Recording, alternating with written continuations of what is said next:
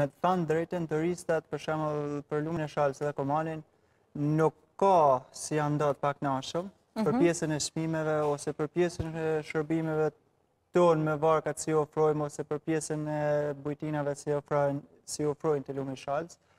Pjesën ma të madhe në ankesën se e thash se e kanë çdo turist e kanë pjesën e rrugës. Ankohen për rrugën? Po, normalisht, ata vijnë, mirë se janë të ardhë me bashkë, po prishin makinat e veta. Pse ka ndodhur, ka pasur raste të turistëve që vijnë dhe ju prishet makina për shkak të rrugës? Po, ti normalisht, ndoshta nuk ju prishet n'moment, po ma vonë, a janë 32 km rrugë, pothuajse 25 janë prishun. Janë, si me kanë të dalë me animali. Dhe ka pasur ankesa, kryesisht nga cilat shtete vijnë për të vizituar këtë zona?